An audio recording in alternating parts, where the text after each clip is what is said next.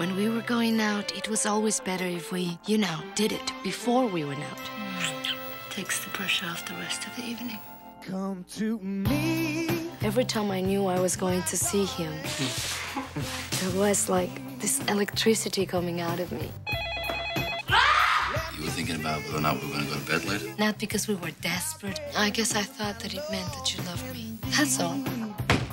She loves me, she loves me not. I love her, I love. I mean, people are living real lives. People have serious problems. And we're still running around like we're teenagers. Mm. Could you please not disappear in the middle of the night like some thief? Just this once, I'd like to get a good night's sleep, okay? But I kept thinking about him.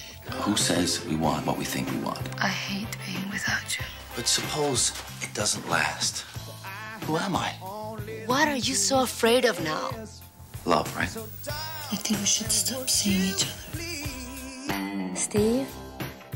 Steve! I want to get married. You want to get married to me? Yes. I thought we were breaking up. Something goes wrong, you just walk out the door. I don't want to see you anymore either, but I see you. When it starts that good, there's no place to go except bad.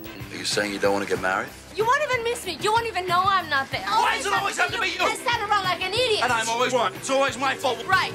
We can't quit, you and me. We have something now. We can't just throw it away. I don't know why it didn't work. I admit, it's a failure, but it's ours. I don't know why we broke up. We haven't got a hope. We haven't got a prayer. We haven't got a chance. I really think we should get married. Now. Yeah. I'm not doing anything on Thursday. You want to get married on Thursday? Steve?